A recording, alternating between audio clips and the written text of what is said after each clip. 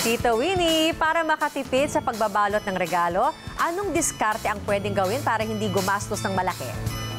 Ay naku Ate B, uso ngayon yung repurposing, recycling, minus gastos dahil ang puhunan ay yung pagiging malikhain.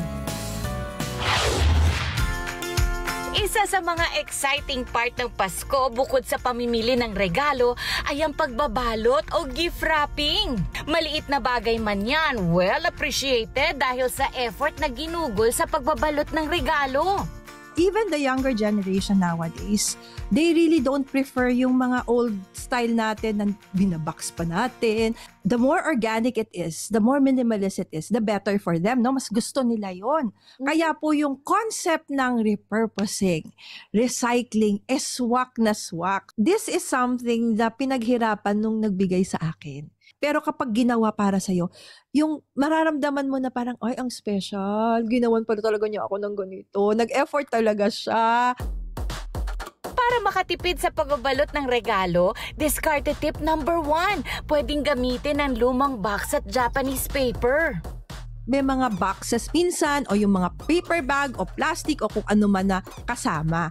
So at saka yung mga nasa bahay nyo, yung mga pinaglumaan yung yun na pinagamitan nyo ng harina, ah, lumang ah, pillowcase, lumang kumot, yung mga kortinang hindi nyo na gusto. Alright, lahat yan pwedeng gamitin. Discarded tip number two, ang hole ng tissue. Kesa itapon, pwede itong gawing gift wrapper. Pwede din to Tita Winnie gamitin. Okay, lalagyanan ng gifts. Lalo na yung mga kunwari, ang mga mumunting ano lang, ipit. 'Di ba? Ganyan. Oo. O kaya ah, pwede din pera.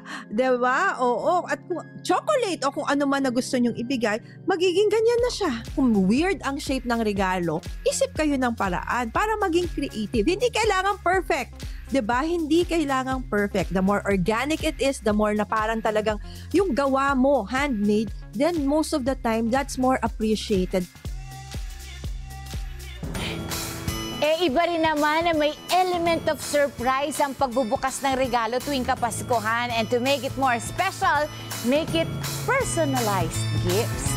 Ako po inyong Tita Winnie Cordero. Tandaan, sa tamang diskarte, make every moment your moment.